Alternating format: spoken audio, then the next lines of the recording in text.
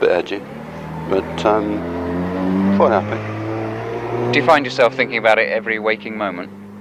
No, just every sleeping moment. You couldn't have a much tougher place to try and clinch the title than Arsenal. No, there's never any easy games in the First Division.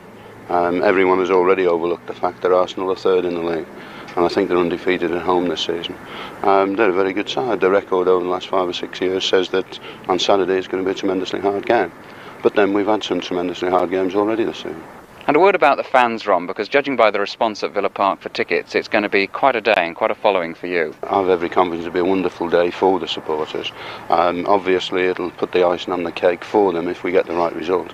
But I think um, Saturday will put in a nutshell everything that's gone on at this club, um, on and off the field over the last few years anyway, um, trying to achieve things and produce things for those people that matter, who are the supporters.